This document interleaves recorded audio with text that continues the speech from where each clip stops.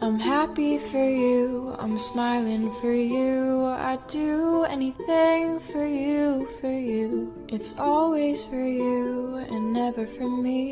And I need it to stop, so let me tell you, please. I'm always sad and I'm always lonely, but I can't tell you that I'm breaking slowly. Closed doors. Locked in, no keys, keeping my feelings hidden. There is no ease. I need it to stop, and I want to be able to open up, but my feelings are fatal.